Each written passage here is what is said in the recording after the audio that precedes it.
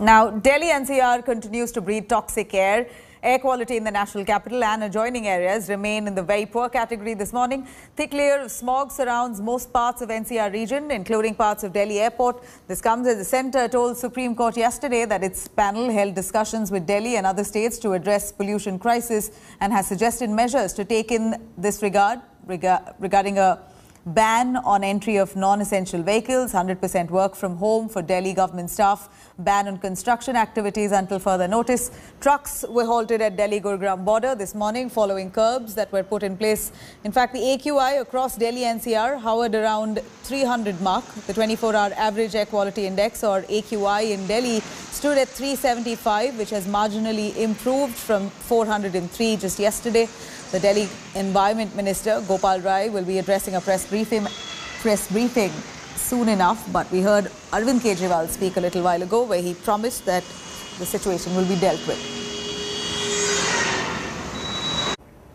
After the Supreme Court rapping the centre and the states, Delhi government has now adopted some of those measures to curb air pollution in the national capital. We're looking at entry of non-essential vehicles that will be banned now into the NCR region until pollution levels are curbed. Schools and colleges will remain shut until the next order. We're looking at at least 100% work from home for all of Delhi government staff members now. Also, no construction activity or demolition activity that will be allowed for the next few weeks until pollution levels are curbed. We're also looking at an additional 1,000 CNG buses that will be deployed along with 372 tankers only to sprinkle water to ensure that the state combats air pollution, which is now in the poor to severe category. Now, days after ghastly images of froth over Yamuna River, Delhi Chief Minister details a six-point plan to curb water pollution. Just days ago, Delhiites were forced to take a dip in the Yamuna River during the Chhath Puja, fully covered in toxic froth. After severe criticism over rising water pollution in the Delhi NCR region, Arvind Kejriwal has now issued a six-point action plan in a bid to fight water pollution. Action Plan 1, Kejriwal said, Delhi will soon have new sewer treatment plants and Existing ones will be upgraded. Action Plan 2, there will be new drain cleaning technology for better efficiency. Action Plan 3, the Chief Minister said there will be a crackdown on industries contributing to water pollution and management of waste.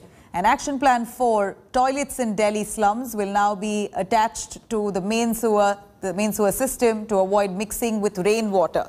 And Action Plan 5, new sewer connections to be provided at a nominal rate. Lastly, Kejriwal makes quite a bold promise of full Yamuna cleanup by February 2025. अगले चुनाव के पहले मैं भी यमुना में डुबकी लगाऊंगा और आप सब लोगों को यमुना के साफ पानी में डुबकी लगवाऊंगा यमुना को साफ़ करने के लिए हम लोगों ने पूरा ज़ोर शोर के साथ युद्ध स्तर के ऊपर काम शुरू कर दिया है। यमुना को साफ़ करने के लिए छः एक्शन पॉइंट्स हैं स्पेसिफिक और इन छः के छः एक्शन पॉइंट्स पे मैं लगातार मॉनिटरिंग कर रहा हूँ। मैं आपको चुनौती देता हूँ। ये सब नाटक और ड्रामा बंद करिए। आपके पास कुछ कहने को है?